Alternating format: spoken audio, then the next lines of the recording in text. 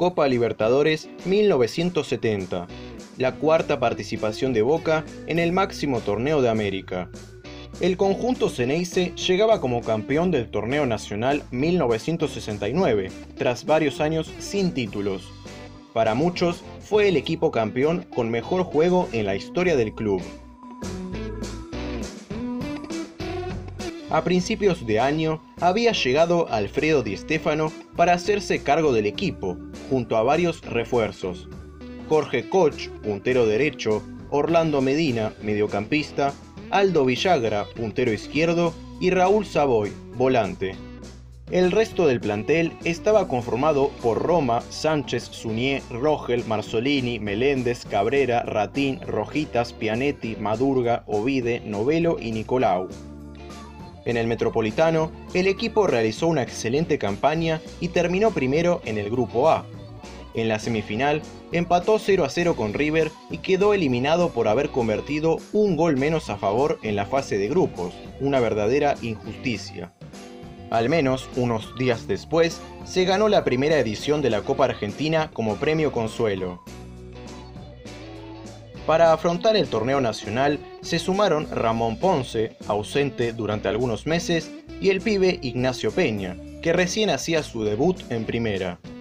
Siguió el buen funcionamiento y la solidez defensiva para llegar a la última fecha como puntero del campeonato, con dos puntos de ventaja sobre el River de Ángel Labruna.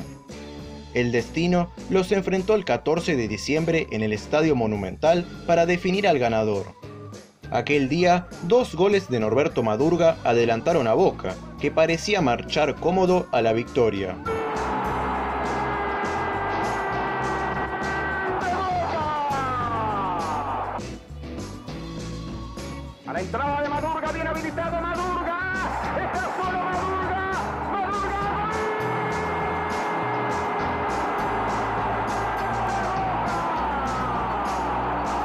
River descontó con un tiro libre de Pinino más y a los 67 un cabezazo de Marchetti igualó el partido.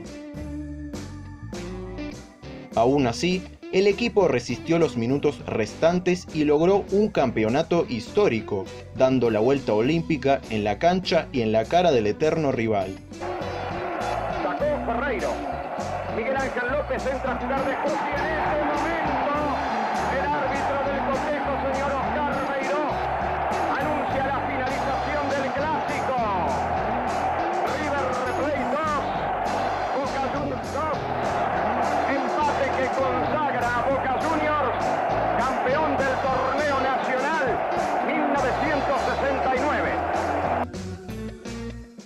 El 11 de aquel día fue Sánchez, Suñé, Meléndez, Rogel, Marzolini, Madurga, Medina, Ponce, Rojitas, Savoy y Peña. En 1970, Di Stéfano decidió no continuar y se fue a dirigir a España. Como reemplazante llegó José María Silvero, ex jugador del club. El único refuerzo fue Hugo Curioni, un centrodelantero con virtud para el gol, y también regresó Omar La Rosa de su préstamo. En la Copa Libertadores, el formato cambió con respecto a la última participación de Boca en 1966. Ahora está la tradicional fase de grupos, una segunda fase de grupos y luego la semifinal y final mata-mata. Un total de 19 equipos participaron, ya que Brasil no estaba de acuerdo con el calendario y otros problemas que tenía con los cupos asignados. Estudiantes de La Plata era el campeón vigente y se ganó el derecho a comenzar desde la semifinal. Los 18 equipos restantes se dividieron en tres grupos de 4 y uno de 6, agrupados por país. Boca y River aterrizaron en el grupo 1, junto a Universitario de Sucre y Bolívar. Los dos primeros avanzaban de fase, por lo que el panorama no parecía difícil.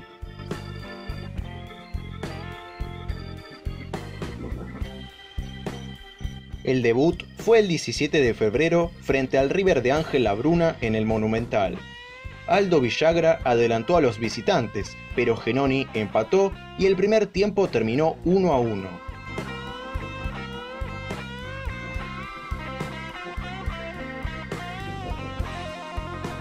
Parecía que el resultado no iba a cambiar, hasta que a 15 minutos del final, ingresó Jorge Koch para anotar un doblete y conseguir un gran triunfo por 3 a 1. El primer gol fue tras un pase de Rojitas y una floja respuesta de Perico Pérez. En el segundo, quedó mano a mano tras un error defensivo y fusiló a Perico.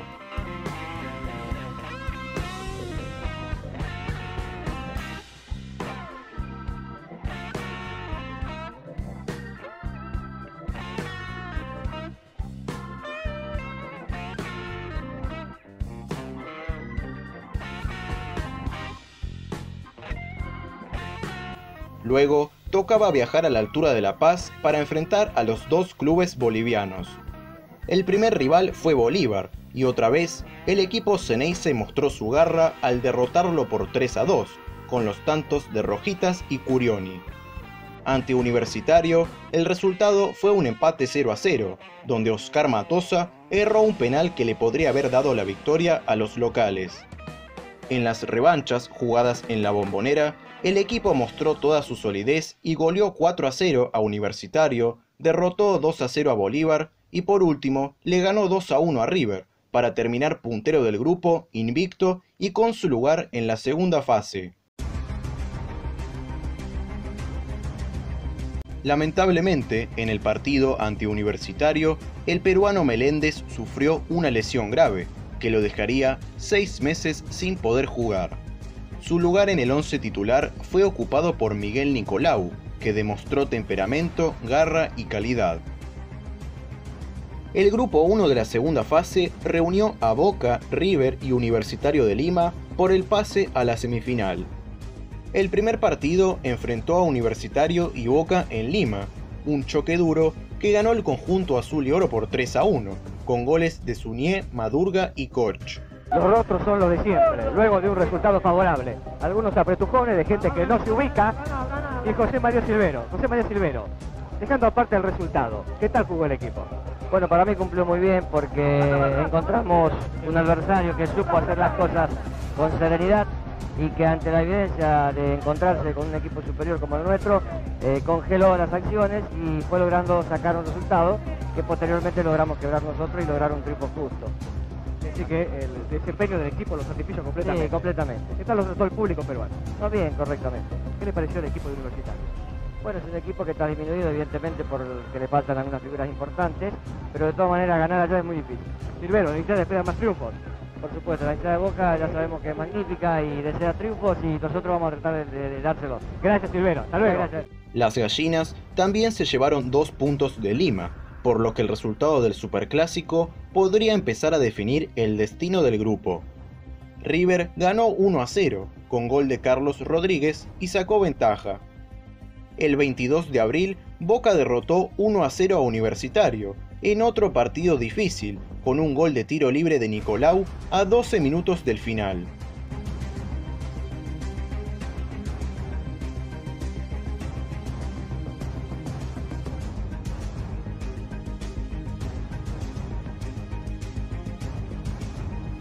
Tres días después, River también venció a los peruanos pero por 5 a 3, con una gran actuación de Pinino más.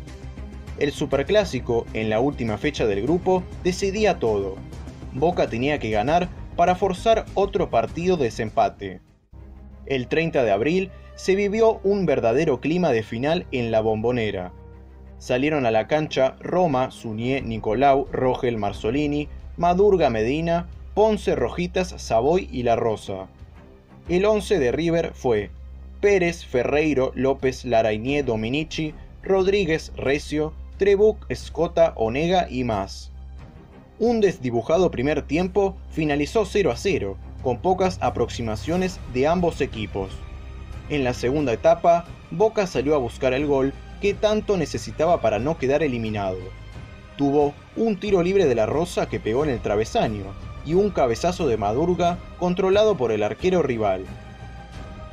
A los 65 minutos llegó la jugada que cambió todo. Un pelotazo largo de Ferreiro encontró a Onega, que acomodó la pelota con la mano y definió cruzado contra un palo para el 1 a 0 de River. A los 70, Perico Pérez salvó de forma espectacular un remate de Rojitas, y poco después, Rodríguez y Madurga fueron expulsados, quedando 10 contra 10. A 9 minutos del cierre, un centro de Koch fue aprovechado por Rojitas para llegar al empate.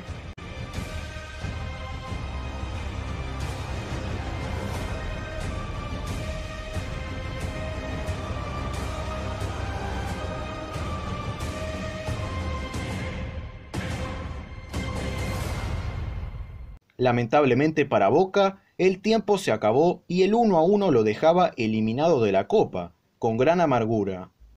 Las gallinas festejaron como si hubieran ganado la final del mundo, pero en la semifinal, el Estudiantes de Subeldía les pegó una paliza ganándoles de visitante y de local, rumbo a su tercera Libertadores.